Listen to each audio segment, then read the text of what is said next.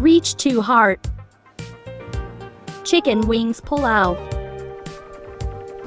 बिसमीम welcome to my channel तो आज की हमारी रेसिपी है चिकन विंग्स पुलाव तो सबसे पहले मैं इसमें ऐड करूँगी अनियन ये मैंने एक अनियन लिया था, जो मैंने स्लाइस में काट लिया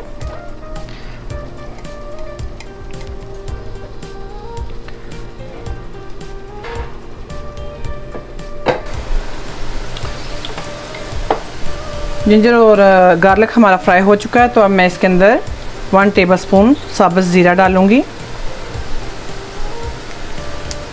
मिक्स मसाला जो है वो मैं पिसा हुआ डालूँगी क्योंकि बच्चे वो खुशी से नहीं खाते। मुँह में चीज़ें आती हैं तो वो बहुत बादर होते हैं। तो अब मैं इसके अंदर ऐड करूँगी चिकन विंग्स चिकन विंग का तो आपको पता ही होगा, ये चिकन के जो छोटे पार्ट्स होते हैं ना, जो पार के आगे हिस्से होते हैं। आज मैं उनका पुलाव बनाने लगी हूँ।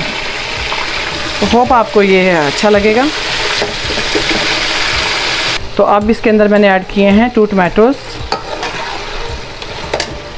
अब इसके अंदर मैं ऐड करूँगी राइस हमारे तकरीबन आलमोस्ट से थ्री पाउंड और चिकन भी हमारा थ्री पाउंड है।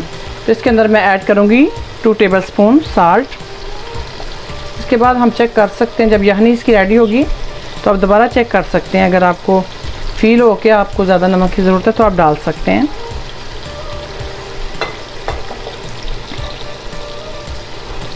तो इसके अंदर मैं थोड़ा स्पाइसेस के लिए डालूँगी। One tablespoon flax seed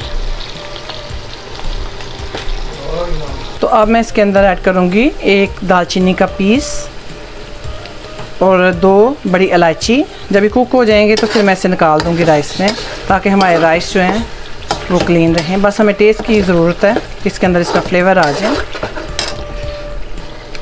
तो अब हम इसके अंदर ऐड करेंगे वन ये वाला जो बाउल था, ये मैंने एक राइस का लिया तो अब इसके अंदर मैं ऑलमोस्ट टू बोल वाटर के ऐड करूँगी।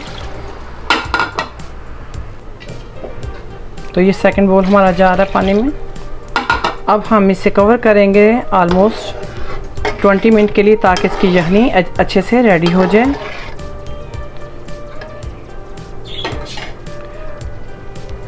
तो हमारे 20 मिनट पूरे हो चुके हैं। अब हमारा जो चिकन है, वो आलमोस्ट गल चुका है। तो अब मैं इसके अंदर ऐड करूँगी one teaspoon black pepper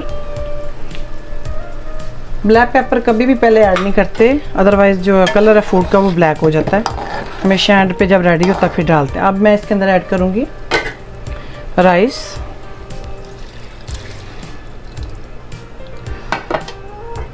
और मैं इसे अच्छे से मिक्स कर दूँगी।